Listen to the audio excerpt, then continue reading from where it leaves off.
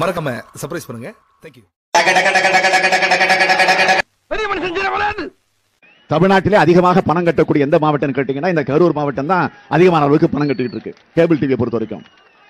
ஏனென்றால் இங்க இருக்கக்கூடிய லோக்கல் சேனல் எல்லாம் செந்தில் பாலாஜியுடைய பினாமி பெயர்ல தான் இருக்கு.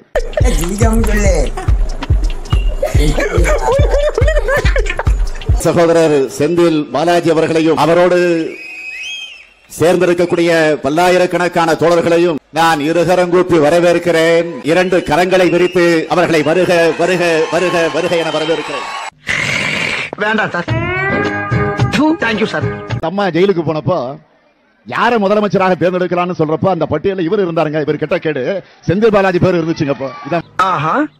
அரவாக்குறிச்சி ஒண்ணு மிச்சம் இருக்கு. செந்தில் பாலாஜி அந்த தொகுதியில் நின்று வெல்ல போவது என்பது உறுதி. அதுல எந்த மாற்றம் கிடையாது. அடங்கொப்பன் தாமரபரன்ல தலைமுழுக. நம்மளால முடியாதுறாங்க அப்பா.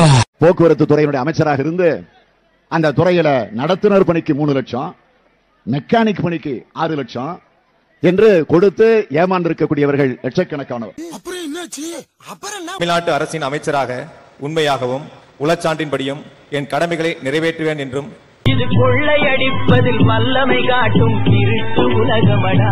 தம்பி தெரிந்து நடந்து கொள்ளடா. வெளியில மழை பெஞ்சதுன்னா வெளியில விட மசு உள்ள அதிகமா தான் ஒழுது இந்த அளவுக்கு தன் துறையை அவ்வளவு சிறப்பாக வைத்து செயல்பட்டவர் தான் செந்தில் பாலாஜி. வேண்டாம் ஏட்டையா? ஓவரா ரிஸ்க் எடுத்துட்டு இருக்கீங்க. ரிஸ்க் எடுக்கிறலாம் எனக்கு ரஸ்க் சாப்பிடுற மாதிரி. போக்குவரத்து துறையில் ஊழல். என்ன போட்ட காசு எப்படி எடுக்கிறதா? போக்குவரத்து துறை அமைச்சரை காணவில்லை. நான் அதுக்கு கண்ணு முன்னாடியே நின்றுட்டு இருக்க முடியும்? நடவடிக்கை எடுக்கப்படுமா? பை கரூர் மாவட்ட திமுக. ஓஹோ அந்த கரூர் மாவட்ட திமுக காரங்களுக்கு ஏதோ நடவடிக்கை எடுக்கணுமா? எடுத்துருவான். வந்த உடனே எடுத்துருவான்.